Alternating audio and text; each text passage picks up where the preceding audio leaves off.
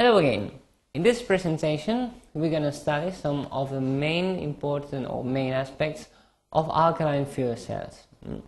We'll have a look at the main features and also some components and configurations used in AFC. Well, alkaline fuel cells use an electrolyte consisting of a potassium hydroxide uh, solution which is highly concentrated, usually 100 concentrated. They can also use another alkaline solutions, other um, kind of materials, but the most common is potassium hydroxide. Um, and then in this case the charge is uh, transferred from the cathode to the anode. It's a negative charge and it will be this hydroxyl anion. These are the main characteristics of AFC. Uh, as we mentioned before, the electrolyte is the, what consists of a potassium hydroxide solution, which will be in movement, by the way, which may be uh, moving. And the working temperature of these fuel cells um, is still quite low. It ranges from 65 to 200 degrees, is still quite low compared to other fuel cells. Again, exchange transport will be carried out by this uh, anion, by the hydroxyl, and it still requires um, a very, very pure hydrogen stream for its use at the anode. Mm? So we have to deal with some problems related to evaporation of water, um, and again, because we use very low temperatures, we will need to use very pure, well, very um, expensive catalysts like platinum materials. Well, these are the power range and charge density usually applied in this kind of systems. Um, these are very old fuel cells. The first one to be applied in special programs, in the NASA and Apollo's programs, so they were very famous. And the most used catalysts are platinum, palladium, or nickel at the anode, and we can even use gold or platinum or silver uh, catalyst at the cathode. So these are well the reasons why these fuel cells will be very expensive still.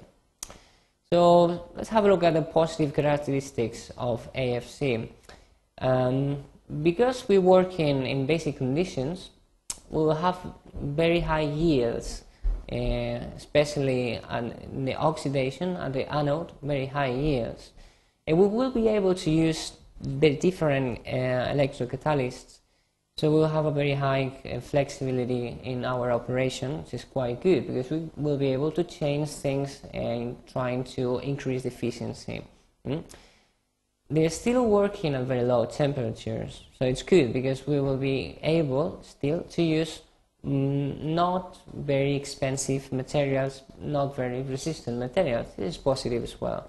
And the design will be very compact. We'll see later on that these were the first fuel cells used in the special programs. We still have some drawbacks. So I mentioned before, we'll have to, uh, will be required to use very pure hydrogen in the anode um, because the catalysts that we will use are very sensitive to poisoning. So this is, this is negative. Mm? Again, the temperature is not low enough to avoid problems used when we're trying to use these systems in portable applications. So maybe proton exchange membranes fuel cells are more suitable for this kind of applications. It's something that could be discussed. The most important, um, these systems uh, require that the electrolyte is probably is going to be lost because we said that it's the, a solution, not a solid and then we will probably have or probably need to have a system to recover this electrolyte which will be lost. So this is an important drawback. In general terms, as the most well, as the most of the fuel cells, the, the increase, increases in pressure and temperature improve the operation of this kind of fuel cells. Mm. So it's good if we can um, pressurize the hydrogen and the oxygen before we use it, and also if we work at high temperatures. Well, these are some examples of uh, alkaline fuel cells which have been already used. Again, I think this is the one that was used uh, for the NASA in one of the of the programs.